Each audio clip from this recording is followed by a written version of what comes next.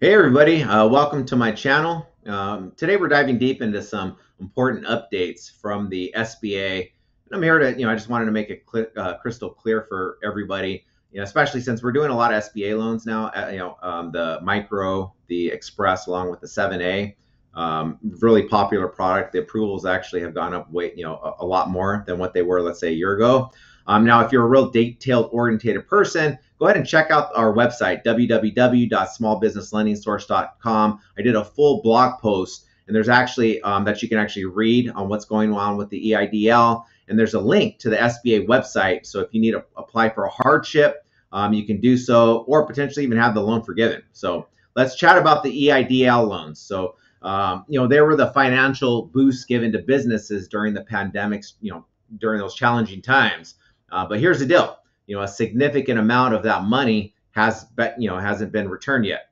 Um, think of it like a supplier delivering 10 shipments to a store, but only get paid for getting paid for eight. So that's basically what's going on with that right now. Uh, but you know, the SBA isn't just standing by; they've actually introduced the hardship accommodation plan, which which is the link that I spoke of on the article. You know, it's kind of like when a business asks for an extension on their rent you know, because times are tough.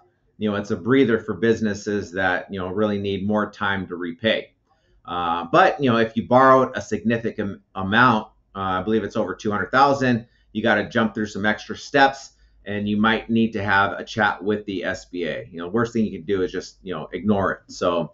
Um, there's also some buzz around whether or not you know all businesses that got the loans were generally in need now the SBA is now double checking to ensure everything's you know um, you know everything's you know on the up and up. You know we've seen what's going on with the ERTC, the PPP. You know obviously I'm sure it's the same thing with the EID EIDL. So the burning question is, did the SBA play their cards right, or are we seeing some slip ups? Uh, we're keeping an eye on it, uh, and we'll keep you updated since we're doing a lot of uh, SBA loans, you know, currently.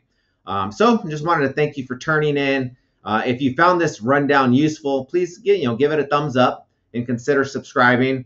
Um, I'll go ahead and catch you on the next video. All right, and I'll have the actual link uh, to our website to that uh, to the blog post. So if you do need help with your EIDL, you know, feel free to reach out if you have any questions or click on that link. It'll take you direct directly to the site, so you can check out the blog and click on that link uh, directly to the SBA.